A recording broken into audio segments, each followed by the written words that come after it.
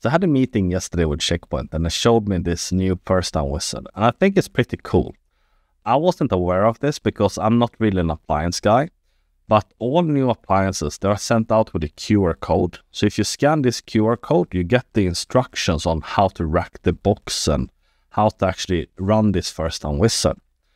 And I have selected to have this on-prem because I don't have a Smart-1 Cloud, but you also have instruction how to do it for Smart-1 Cloud as well. So I have a PC in the other room and it's connected with a console cable in form of a USB-C and I put up some pictures here to the appliance box itself. So it's a USB-A to USB-C that act as a console cable. I needed to install drivers to make this work and you have the option here to, to get the drivers themselves. I don't know what's the difference is here between this, but I have a 6400 uh, appliance, so I selected this one, I believe. I'm not admin on my local PC, so I needed to ask my IT, yeah, my IT support to install this uh, this driver. Fairly simple, but it's something that you may need to to fix in advance uh, if you don't have local admin on your PC and actually download this serial driver. The serial driver is of course locked behind the login screen, so you can actually not download it without having an account on Checkpoint's website. I think this is a bit stupid to not be able to download the driver without an account, but you can prep it in advance. So we see here that I have USB serial port uh, 7 and it's my console. And the idea here then is I have remotely connected to the laptop. I'm using Zoom, like I sit remote and you have a field engineer on site and plug in his PC or her PC and do a screen share. And then you can do uh, the first time wizard easy. So the first step is more or less to download the driver, connect the, um, the, the PC to the appliance, and then make sure to power on the appliance. And Checkpoint, of course, recommend this new way. Uh, the old way is still there. You can still just do a console and put in an IP address and connect remotely if you want to. But, uh, well, the new guys maybe want an easier way. So you can press connect and then you will need to select the USB cable, and in this case, it's this one. So here's the new GUI on how to actually configure this. So, of course, this is uh, pretty new, and uh, I guess Checkpoint wants some feedback on how this this looks more or less. So one thing that uh, I noticed right away, like, okay, how to actually change the the the name of the gateway? But uh, well, if you just highlight it, it, it will show here. So um, CPU firewall 01. And here you can select if it's a cluster member or a single security gateway. I will just select the single security gateway to make it easy for now. And uh, put the generic password. And next one is to configure the interfaces. And my plan is here to actually configure the correct uh, IP addresses for this thing so you can reach the box more or less directly. So uh, for the management interface, I want to have dot two. Honestly, I should have made it for a cluster as well, but never mind.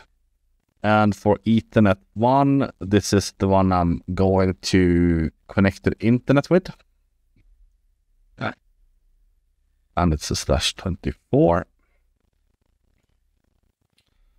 And then I have a sync interface. 268.250.1 slash 29. And I have a default gateway and we have some uh, DNS servers. And I think that's all that we need for, we have management sync and Ethernet 1. And that should be enough. uh, yeah. This is something I think is pretty cool. So, if you send out the box, uh, this box can be manufactured like six months ago, and you don't really know what sort of like vulnerabilities or whatever it is on it. And Checkpoint has actually put in and highlighted like this uh, current version is um, at risk for this specific vulnerability. Make sure to protect it. And here you can select like, okay, which version do you want to have? So this specific box, it comes with uh, R81.10. So this is the this is the factory default one. And I will just select this for now. And SIC password is a one-time password when you connect to the management station. And uh, this, I didn't know what this was before, but uh, this if you want the first time wizard to automatically create a gateway object within your management station. So I think this um, pretty cool. Maybe we should try this out later as well. Maybe we should try it out with building a cluster from scratch as well. Maybe even do uh, an update to R81.20. I don't know. We can we can do a lot of things here, but let's keep it simple for now. So this is the time zone. Next. And then you get some um, um, some basic information like this is the firewall name, this is the version, uh, this is the time zone, then the NTP servers, the interfaces, and more or less you sign your life away like normal. And then you just click finish and you get some progress bar on how this first time wizard is going. And after this, the first time wizard is done. And you should be able to connect to the, uh, the Gaia portal and uh, do the rest.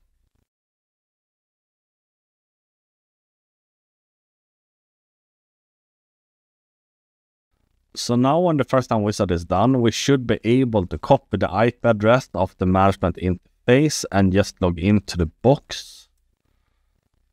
And you just select password that you selected under the first time wizard and uh, did select one, uh, VPN 123. So we're able to log in and we are able to, to see our interfaces and they are configured. Uh, we're also able to see, uh, no thank you.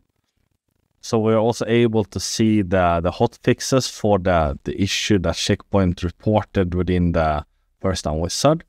And this is something that is dynamic because it has uh, internet access from your from your PC. So I think this is it for the initial view on the first time wizard when it comes to single gateway. So thank you for watching and I hope to see you in the next one. Take care.